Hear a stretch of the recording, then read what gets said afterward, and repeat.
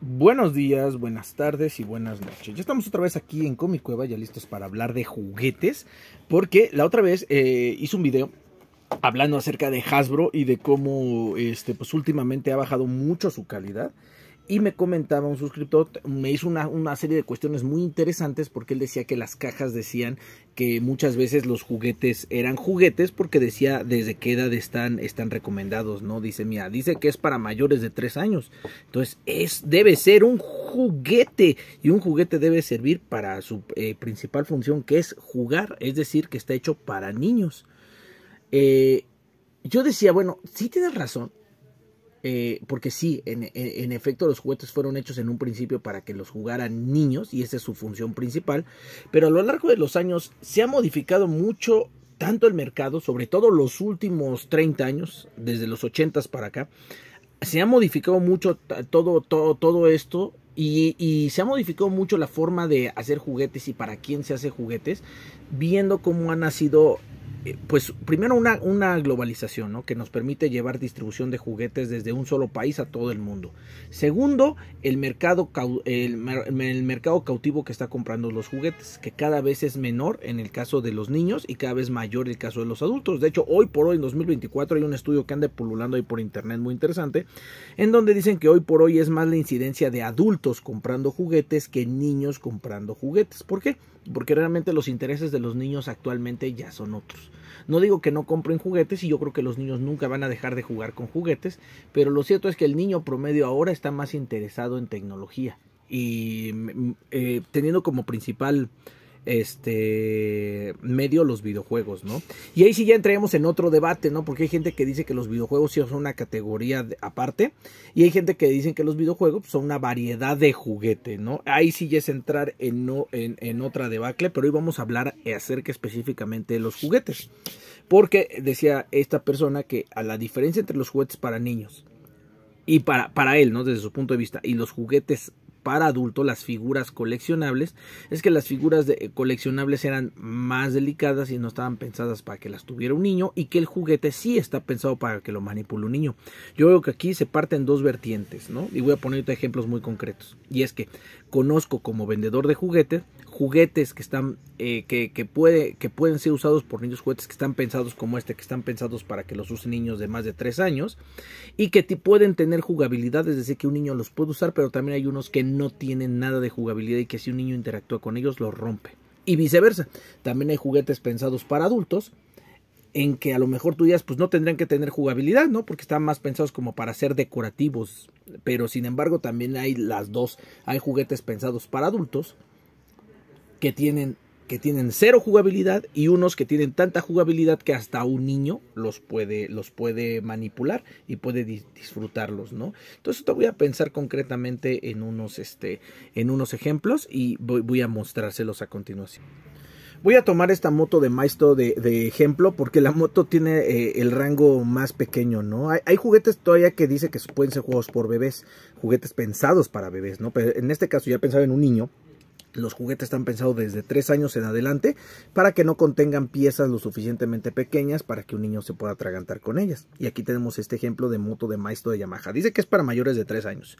Pero realmente la moto viene eh, pegada a una base y aunque el niño pudiera despegarla, realmente la moto no, hace demasiadas cosas. Si acaso tal vez mover un, mover un poquito el manubrio y si acaso mover las llantas, ¿no? Entonces realmente mucha interactividad con el niño no va a tener más allá de que el niño la utilice para fines lúdicos como él quiera.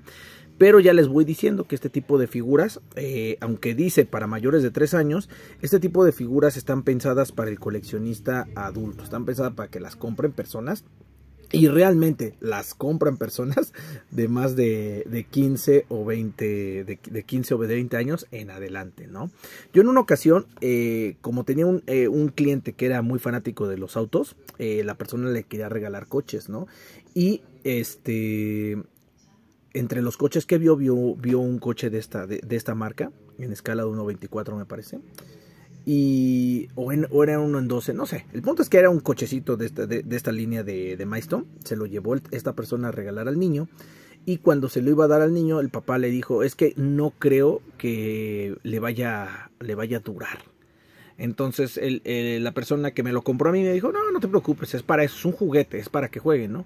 Se lo dio al niño y a pesar de que el juguete están hechos en metal, pues sí, empezó a, a, los minutos de empezar a jugar con él, le empezó a, le empezó a voltar eh, estos pequeños detalles. Si se dan cuenta, tiene muchas salientes, porque quiere imitar el vehículo real, ¿no? Entonces, un vehículo, por ejemplo, tiene los espejitos, tiene de repente en la parte del cofre, de repente tiene alguna, algún adorno, y todo eso el niño lo empezó a romper a los pocos minutos, porque realmente, aunque es un, es un coche diseñado este, en principio como un juguete, pues no está pensado como para que realmente se juegue con él. Esto está pensado meramente de exhibición. A pensar de que diga aquí que es para mayores de 3 años, que se dan cuenta la caja, permite que se pueda disfrutar el, eh, a 360 grados prácticamente el, el objeto. Entonces esto no está pensado para un niño.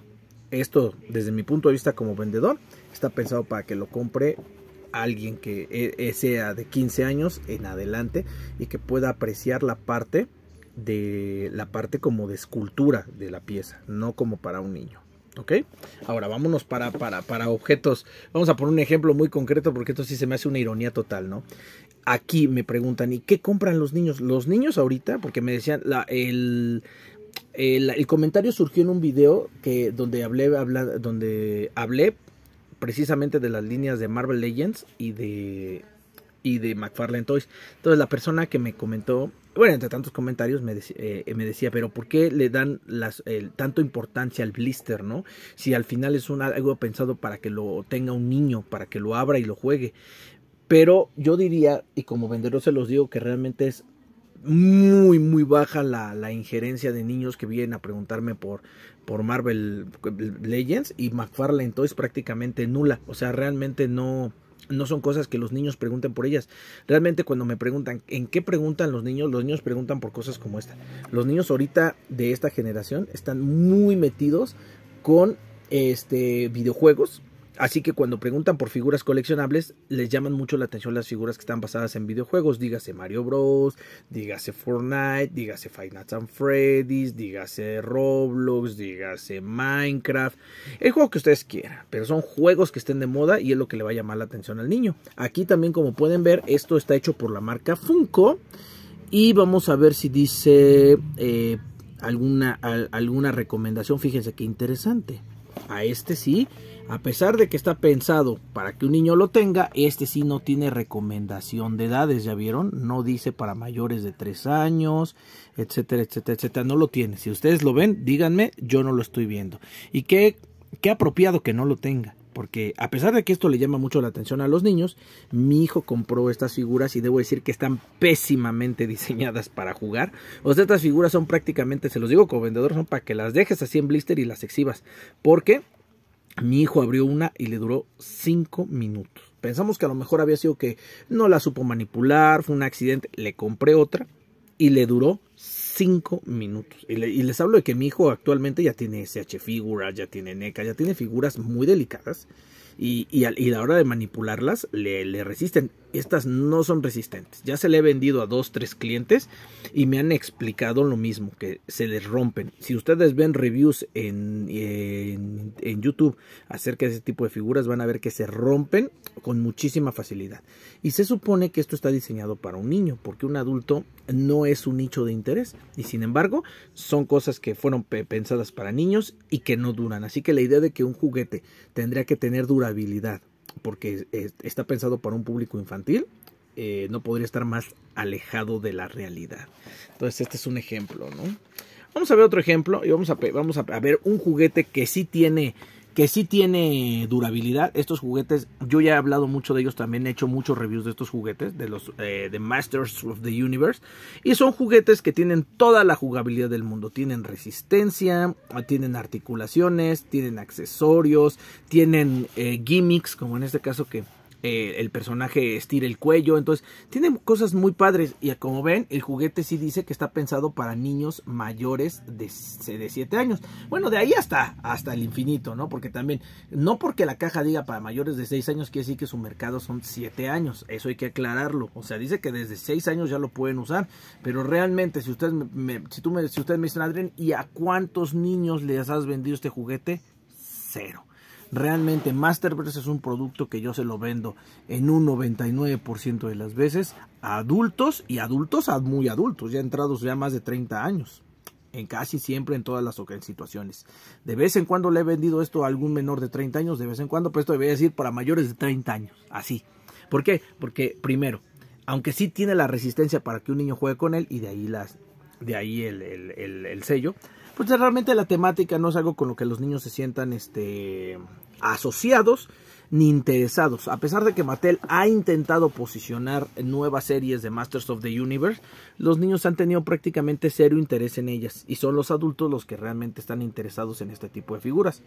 Así que sí, sí está pensado esto para que un niño pueda jugar con él. Pero cuando diseñaron las figuras, cuando hicieron la línea, créanme que los niños no estaban contemplados como el mercado cautivo que iba a comprar estas figuras. Desde siempre Mattel contempló al mercado de adultos. Entonces, es una ironía, ¿no? Y dices, ¿cómo? Espérate, espérate. Entonces, ¿esto está pensado para que lo pueda jugar un niño? Vean nomás que la ironía, ¿no? Esto está pensado para que esto está pensado para que lo pueda jugar un niño, sí. Esto no está pensado para que lo pueda jugar un niño. Es demasiado delicado. Pero esto no le llama la atención a un niño. Esto sí le llama la atención a un niño. Entonces ahí están las cosas. Si tú le pones esto a un, niño y le dices, ¿qué quieres? El niño eh, siempre te va a elegir este porque todos los niños van a conocer Final Fantasy en este momento de la historia, pero muy pocos van a conocer Master of the Universe. Ellos no les va a interesar que este sí tenga la jugabilidad y que este no tenga la jugabilidad.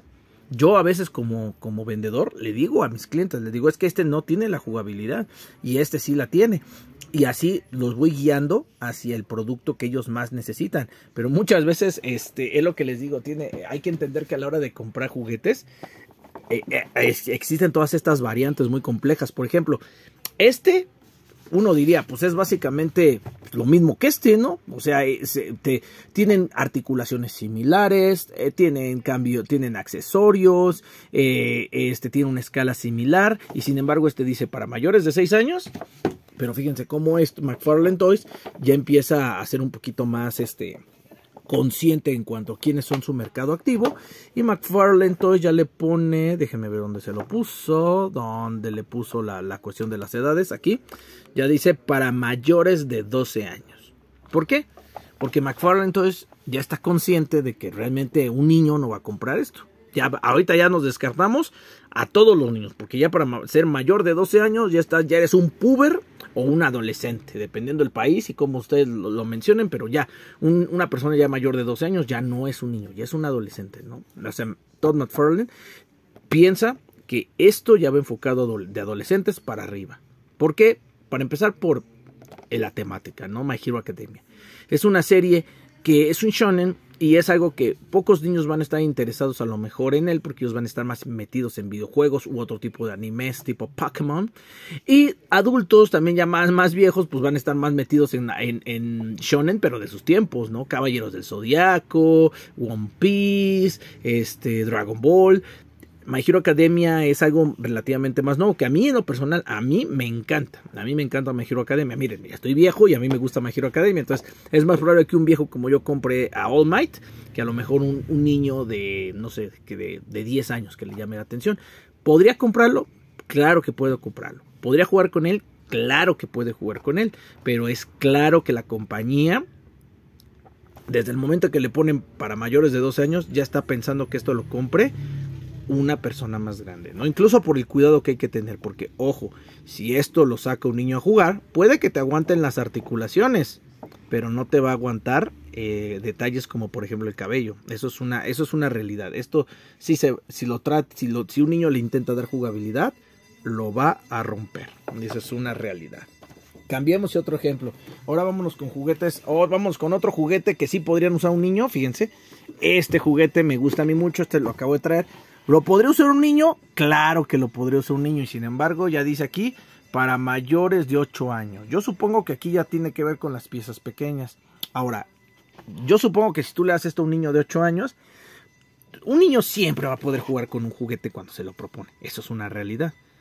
Pero si se dan cuenta, ya el hecho de que le pongan display de edificios, esta cosa, ya está pensado en que un, ahí ya más grande lo exhibe en display. Un cómic en inglés pues tal vez si es un niño oriundo de un, país de habla inglesa, pues lo puede entender, ¿no? Pero pues realmente ahorita eh, los niños tienen poca incidencia de lectura de cómics. Realmente los cómics ahorita ya los leen quienes, de adolescentes y hacia arriba. Y el diseño de la caja a mí me deja ver claramente que esto no está pensado para que lo, que lo tenga un niño, porque ya saben que los niños abren las cajas, las rompen y vámonos, ¿no? Esto está pensado para que un adulto incluso pudiera decidir dejarlo dentro de la caja. Que claro, que si lo quiere abrir, adelante, ¿no? Pero realmente el, el diseño de la caja me hace pensar que esto no fue pensado para, para un niño. Y de hecho, este tipo de artículos cada vez se van a ver y se ven menos actualmente en mi país en jugueterías, ¿no? Ya estamos hablando de que este tipo de artículos cada vez los van a ver más en tiendas de coleccionables o en línea, es donde los van a ver. Entonces, cada vez los niños van a tener menos accesibilidad a conocer y a ver en persona estos, estos artículos como para que ellos se les antoje comprarlos. ¿Quiénes los van a buscar? Pues adultos. Adultos que hayan visto la película de Pacific Rim y les guste pensando que un niño haya visto Pacific Rim 1, que es como de 2014, voy a pensar que un niño conoció Pacific Rim en el 2014 y él tenía, a lo mejor el niño tenía 10 añitos, ¿no? Estamos hablando de que en 2024 ese niño ya tiene 20 años, entonces él es el que va a comprar esta figura. Entonces, sé lo que les digo, es una realidad que los juguetes ya están cada vez se piensan menos para niños porque los niños están más interesados en otras cuestiones. ¿Que es padre que un niño pueda jugar con un juguete? Claro que es padre, pero muchas veces el propio niño te va, cuando le preguntes, ¿tú qué quieres para cumpleaños? A lo mejor te va a pedir una bicicleta para salir a pasear, a lo mejor te va a pedir unos patines, pero yo creo que en el 75, 80% de las veces te va a pedir una tableta, te va a pedir un nuevo teléfono, te va a pedir un videojuego, te va a pedir una consola. Eso es lo que los niños están pidiendo en este momento. Entonces, como vendedor de juguetes, soy muy consciente de esta realidad y de a quién van dirigidos los productos y, y, a quién, para quién compro las cosas que compro, ¿no? Por ejemplo, esto es un juguete para mí. Esto ya es un juguete de colección, ya es como coleccionable. Tiene una cajota bien, exuberante, y pero tiene un personaje adentro que eh, hace referencia a cómics viejísimos, porque este es el Capitán América con su apariencia de los cómics de los años entonces estoy pensando de los años 80, 90, ¿no? Pero tiene un cambio de cabeza y un cambio de escudo que puede hacer, ustedes lo pueden hacer ver como el Capitán América de los cómics de los años 40, por eso se llama Marvel Select.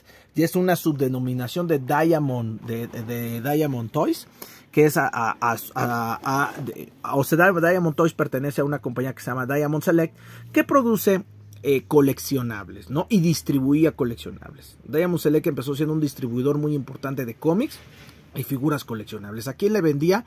¿A supermercados? No, le vendía a tiendas coleccionables y especializadas, ¿no? Diamond Select después empezó a producir ya sus propios artículos. Y la línea de Select es su, línea como para coleccionistas, ¿no? ¿Es barata? Sí, sí es barata. Eh, a lo mejor un Diamond Select, una de estas figuras de Select, dependiendo la pieza, bueno, digo barata comparativamente a lo mejor con un hot toy, ¿no? Pero a lo mejor te puede costar 40, 50, 60, 70 dólares. No más de, nunca te va a costar más de, más de 80 dólares un, un Diamond Select. Son, son, son piezas relativamente accesibles. Ahora, este, pensadas para niños, pues miren, aquí dice la caja que ya desde 8 años en adelante lo puedes comprar. ¿Por qué? Porque si esto lo tiene un niño, para mí el juguete tiene la suficiente resistencia, sí, sí la tiene. Sin embargo, una de las cosas que se han comentado toda la gente que compra eh, Diamond Select es que este tipo de juguetes eh, no están muy pensados para jugarse porque las articulaciones a veces no son tan buenas o vienen un poco rígidas. Sin embargo, creo que un niño podría jugar con él. Sí, sí creo que un niño podría jugar con él. Sí creo que tenga la resistencia para que un niño pueda jugar con él y disfrutarlo. O sea, es la ironía, ¿no? Este juguete tiene, este, esta figura coleccionable tiene jugabilidad como juguete. O sea, sí lo puedes usar para jugar. Pero, pues simplemente el personaje del que está hecho, a menos que, que tú como papá le enseñas a tu hijo desde, desde, muy chiquito quién es el Capitán América clásico, pues es un poco probable que sea la primera opción que el niño tenga para comprar, ¿no? A lo mejor lo va a ver, va a decir, tiene buenos accesorios. De hecho, mi hijo ya con 14 años lo vio y dijo, oye, está padre, tiene buenos accesorios, está chido, pero hasta ahí, ¿no? O sea, sus intereses son otros. Sus intereses de mi hijo ya están en Dragon Ball, porque es otra franquicia más conocida que a lo mejor está en boga, ¿no? En cambio, el Capitán América estilo cómic, pues no tanto. A lo mejor el Capitán América estilo UCM, a lo mejor pudiera ser algo que los niños pudieran entender un poquito más, sí. Pero este, a pesar de que su precio es accesible y a pesar de que tiene la jugabilidad, y a pesar de que dice ahí para mayores de 8 años, pues no, debo decir, debo ser muy honesto, no está pensado para niños. Y lo digo porque rara vez un niño me pregunta por este tipo de figuras, ¿no? Ni siquiera están en su radar. O sea, son cosas que es más bien adultos los que vienen a comprar este tipo de, figuras, ¿no? En contraparte, fíjense que estas figuras sí les llaman mucho la atención a los niños. Sí he, notado que yo he tenido clientes niños que les llaman la, la atención a este tipo de figuras porque se hacen muchos stop motion en, en TikTok con este tipo de, figuras coleccionables. Sin embargo, pues estas figuras sí, cero pensadas para niños. O sea, de hecho no están pensadas ni para moverse. Es una, y aquí lo dice, mira, para edades mayores de 15 años, ¿no? La ironía es que esto, esto sí le llama la atención a los niños, ¿no? Pero la compañía se protege poniendo estas, estos disclaimers. ¿Por qué? Porque realmente son figuras ultra delicadas. O sea, quiero, quiero decirles que las SH figuras son figuras tan delicadas que si ustedes las miran feo se rompen. así de delicadas son.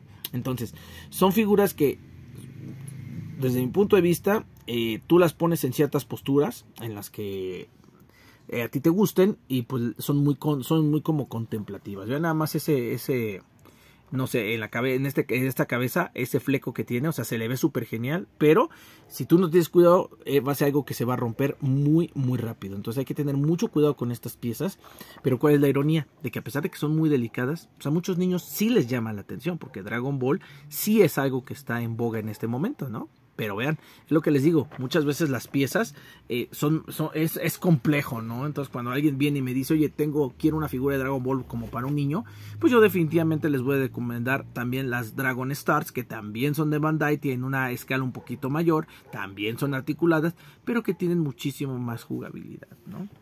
Por ejemplo, acá tenemos otra pieza. Esta es una pieza, miren, dice, para mayores de 12 años. Ya está pensada como para un adolescente.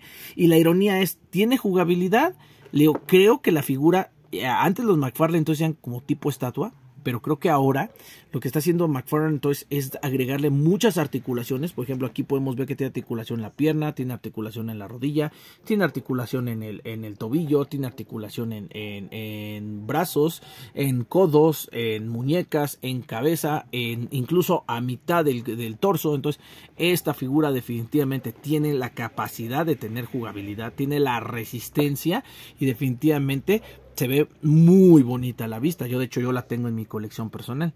Pero eh, aquí está la ironía, ¿no? Y es, volvemos a, las temáticas, ¿no?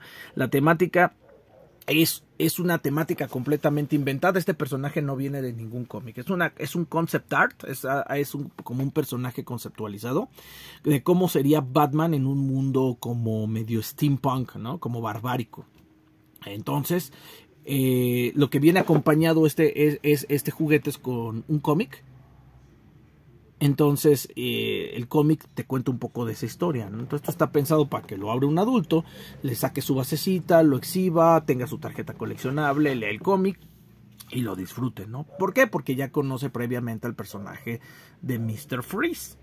Pero si no, no creo que un niño de principio sea algo que le llame demasiado la atención, porque a lo mejor, para empezar, no, no lo vas a encontrar tan fácilmente en tiendas departamentales. Yo, por ejemplo, yo sé que esta figura en particular, esta en particular, sí logró tocar tiendas departamentales, no jugueterías como tal y no tiendas tipo supermercado como Walmart. Esto ya nada más lo encontrabas en tiendas departamentales, así como en... Eh, Sanborns, así como en Liverpool, Palacio de Hierro. Y de hecho ya hay ciertas tiendas como, si no mal recuerdo, Liverpool ya, ya dividió la, ya de plano la venta de juguetes ya la tiene dividida en dos áreas en un área que se llama juguetería, en donde van a estar los juguetes pues más pensados como para niños. Y tiene una sección donde va a tener los McFarlane Toys, donde va a tener los Marvel Select, los, los SH Figure Arts. Y en esa sección él le llama como la sección de coleccionismo, la sección de coleccionistas. Porque pues, son figuras más pensados para este público más adulto, ¿no? Entonces, pues ya eh, espero haber eh, dejado más en claro este punto. Y el punto al que quiero llegar es que cada vez se vuelve más complejo el mundo de los juguetes y por eso es eh, cada vez se cuidan más desde los empaques, se cuidan las cajas, se cuidan las presentaciones, porque cada vez son personas más adultas las, las personas que compran este tipo de artículos, porque ya no lo están pensando comprar para jugar, lo están pensando comprar para coleccionar. Y sí, sí entiendo, ¿no? Muchas personas me dicen, pero Adrián, es que el valor de un juguete está en jugar con él, está en, en jugarlo, es, es el uso para el que fue creado. Entonces yo le digo, sí, claro que sí, pero sin embargo, los adultos tendemos a ser muy raros y, tendemos a comprar muchas cosas por, el gusto estético de tenerlas, pero no para su uso.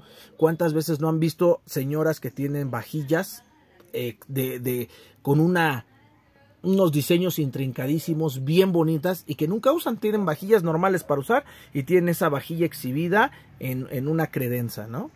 O cuántas personas no compran tenis porque les gusta la marca, les gusta el, estilo, les gusta el lujo y en su vida han practicado algún deporte que requiera de un uso de tenis, ¿no? compran sneakers y, no juegan básquetbol ni juegan voleibol, simplemente andan con ellos por la calle como si fueran cualquier zapato, ¿no? Entonces eso, o sea, ya como seres humanos tendemos a comprar cosas por el gusto de comprarlas y por el valor artístico que les damos, más que porque que las vayamos a usar, ¿no? Yo sí conozco gente que fíjense, yo conozco gente que colecciona películas y que no las ve, o sea, las tiene como un objeto coleccionable, pero realmente ahora con el streaming o el internet, pues ya, o el cine, ahí estás viendo películas ahí constantemente y simplemente ellos coleccionan los DVDs por el, por el gusto de tenerlos, ¿no?